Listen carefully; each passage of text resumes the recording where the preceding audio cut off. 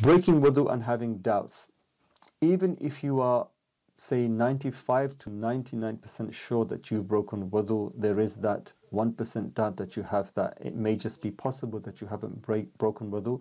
In that instance, we take it as you haven't broken wudu because you're not 100% sure. And that 99% maybe just doubt or what was in your head. The Messenger of Allah was asked about the man who felt that he broke his wudu. Rasulullah said to him that let him not until he is until he, he has heard something or he smells something. Imam Nawawi mentions the understanding of this is that to be absolutely sure, smelling and hear, uh, smelling and hearing is not a condition in itself.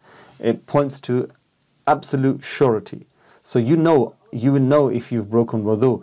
Like if there is going to be a sound, it's going to be a considerable sound. If there's going to be a smell, it's going to be a smell, not something that you think that you smelled or you think, oh, there is a smell in the room and it may be this. See, when you think like this, again, it's just doubt.